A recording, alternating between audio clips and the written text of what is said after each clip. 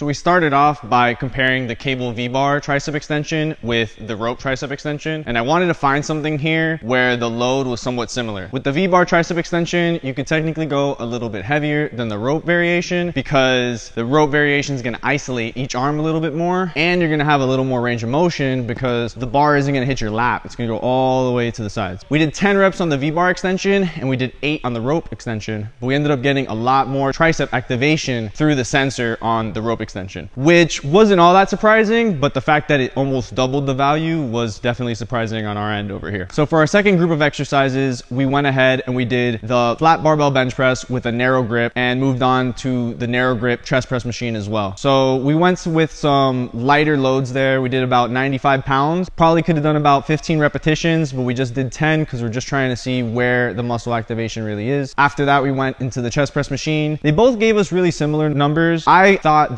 that the machine was gonna end up giving me some more tricep activation because there's more stability there. It's a lot easier for me to focus on squeezing, but they were about the same. And I really do like narrow grip bench press variations because so many of our goals involve getting a stronger bench or just lifting more overall. So it's a lot of practice on the lockout of that movement there really could help us get some more weight up.